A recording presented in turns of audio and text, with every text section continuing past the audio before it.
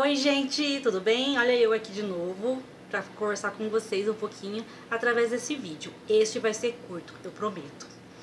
Bem, eu quero falar sobre o processo criativo. Eu já vi muitos autores é, escreverem conforme a ideia chega. A ideia chega, ele senta, começa a escrever e desenrola. Eu não funciono assim. Eu preciso de um tempo maturar a ideia. Então ela surge, não importa de que forma, pode ser qualquer coisa, observação, vivência, livro, filme, é, nada para fazer, como agora que eu devia estar trabalhando estou aqui conversando com vocês. Então pode ser qualquer momento, qualquer coisa, uma música, qualquer coisa pode nascer uma história. É, só que eu preciso de tempo maturar, eu gosto de maturar uma ideia. Então eu sempre espero que ela cresça, desenvolva, faça anotações. Às vezes eu mudo a ideia inicial. Então depende muito da história.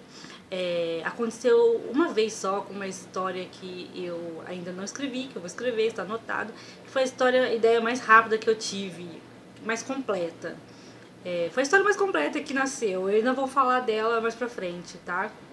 É, porque normalmente eu penso numa cena, penso numa é, num personagem e assim começa uma história. Só que no caso dessa história especifica, espe, especificadamente, é, ela nasceu completa, com o personagem, com o casal, com o, o cenário, é, tudo. Só falta desenvolver melhor o enredo, né? Para saber qual que vai ser começo, meio e fim, mas eu já sei qual que é a história. é estranho isso, né? E também é estranho para mim não ter ideias. Eu estou no momento assim, acabei de sair de, da trilogia pro êxtase, foi um ano trabalhando na trilogia, trabalhando mesmo, não só tendo ideias, mais tempo ainda que eu tenho é, pensando nessa história. Mas, e tô de ressaca dessa literária, não sei o que, que eu vou escrever na minha, fazer na minha vida, se é o que eu vou ler, se eu vou escrever. Eu tenho um monte de coisa para fazer, eu tenho uma série para terminar de editar, dois spin-offs para escrever e eu estou totalmente sem saber o que, por, o que pegar, sabe? Tô tipo assim. Então eu só vou escrever uma história nova, começar uma história nova a partir do ano que vem. História nova que eu digo, um romance novo. Como vocês já sabem, meus romances de fantasia ficarão na saga Os Quatro Elementos, que agora tem um spin-off prometida, que, vai, que já sai pré-venda, inclusive, e Estrela, que também vai ter um spin-off. Estou vendo o seu trabalho nele primeiro, tá? Então, eu, as novidades eu vou falando no, pelas minhas redes sociais, deixa isso pra depois outro no processo criativo. Então eu faço um enredo, eu faço perfis de personagens, é, eu capto os elementos e inovo de alguma forma. Eu gosto de fazer isso.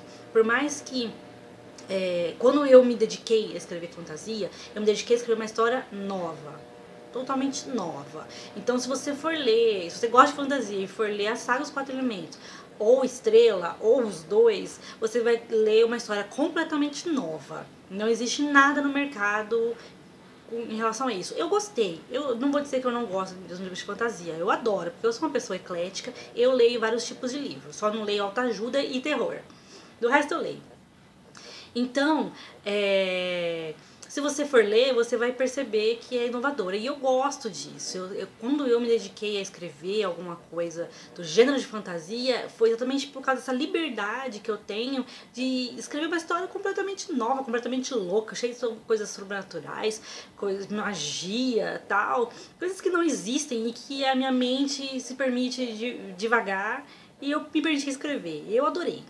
É, só que eu não parei, é, quando eu comecei a escrever Hot, é, primeiro com Insensatez, depois a trilogia pro êxtase, e meus próximos só serão Hot, você também não vai encontrar uma história que só tem uma, um romance e sexo. Não.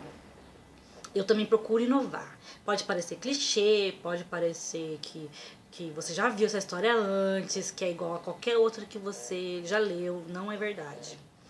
É, eu procuro é, escrever de uma forma que seja diferente, contar uma história de uma maneira diferente, com uma personagem diferente. Eu gosto que meus personagens sejam humanos, tenham defeitos e qualidades, é, cometam erros e acertos, não importa se é que gênero que eu escreva. E eu também gosto, quando eu escrevo assim, eu gosto de despejar muita carga emocional. Eu me sinto no livro, eu me sinto a personagem, os personagens. Eu vivo a vida deles. Então, quando a gente termina uma história, fica meio assim.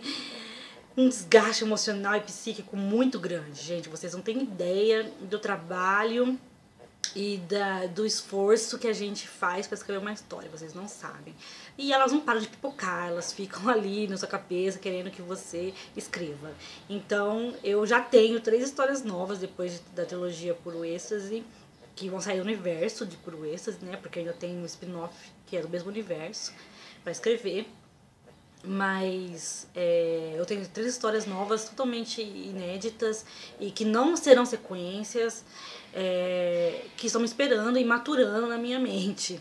Inclusive, uma delas é aquela que eu falei, que é a história que, que nasceu pronta.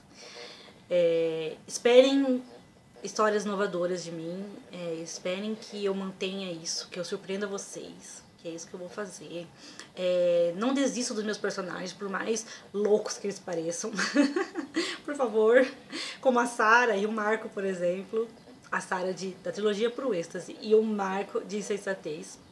Não desista deles. Eles ainda têm jeito. e para quem gosta de fantasia, meus únicos livros de fantasia serão a Saga Os Quatro Elementos e, Insensa, é, e Estrela. E eu espero que vocês gostem, é, gostaram de saber dessa, do, do, jeito que eu escrevo, tá? É, e, e que vem novidades por aí. E eu procurarei, é, eu vou colocar todos os meus livros, na verdade, é, no formato impresso pelo Create Space, tá, gente? E vocês poderão comprar. E a partir do ano que vem a gente vai ver como que vai fazer em relação aos impressos. Porque esse ano eu tô pedindo só a trilogia por êxtase. Assim como eu vou levar um e o dois lá no evento literário, dia 25, no Rio, no Identidade Literária, tá? Então, galera, era isso. Eu vou acabar logo para não ficar muito longo, tá? É, qualquer dúvida, qualquer comentário que vocês quiserem fazer, pode colocar aí embaixo no meu canal, tá? Que eu respondo prontamente.